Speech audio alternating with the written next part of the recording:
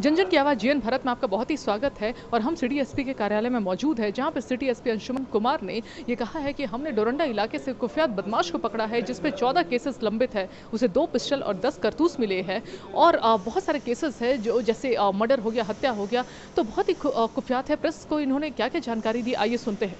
साढ़े सात बजे के आसपास में डोरंडा पुलिस को एक सूचना दी गई थी जिसमें ये बताया गया कि वसीम उर्फ़ गोजा इस नाम का एक पुराना अपराध कर्मी जो कि अनेकानेक कांडों में वांछित है और इसके विरुद्ध लाल वारंट भी है।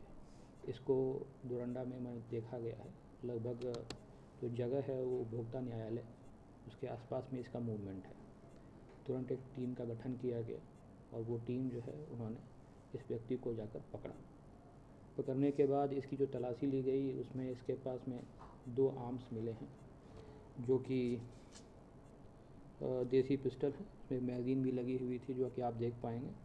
साथ में इसके पास आठ कारतूस भी मिले हैं और जनरली ये लोग जो अपने साथ फ़ोन रखते हैं, वो भी मिला है।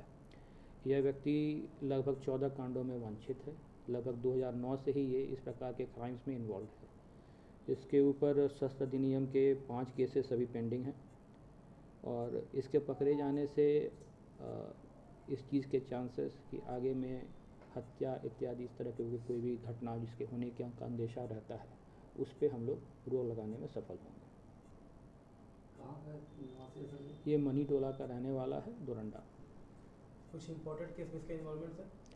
जैसा मैंने आपको बताया कि लगभग चौदह केसेस में ये वांछित है। मुख्य रूप से डोरंडा के थाना अंतर्गत ही इसके इसके विरुद्ध केसेस दर्ज हैं। इसके अलावा बड़ियातू लोअर बाज़ार और सदर थाना के क्षेत्र में भी इसने कांड किए हैं। मुख्य काम क्या है? देखिए मुख्य काम जो है रंगदारी ही इसका मुख्य पेशा एक प्रकार से इसने बना के रखा था और भी अन्य अपराध में ये शामिल रहता था। ये जो चौदह केसेस बताए आपने किस नेचर के एक तो एक्सटॉर्शन हो गया बाकी? हत्या का प्रयास हत्या का प्रयास है। शस्त्र का इस्तेमाल किया करता था। इसके अन्य भी केसेस में इसके नाम आए हैं जिसको हम लोग बाद में वेरीफाई करा के इसमें ऐड करेंगे। किस नेचर का केस? अब वो अभी बता पाना ठीक नहीं होगा?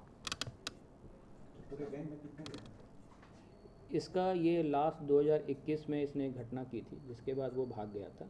और इसका हाल फ़िलहाल में इसका जो मूवमेंट है चतरा की तरफ़ ही ज़्यादा था। हाल में जब ये रांची आया तो इसको पकड़ा गया।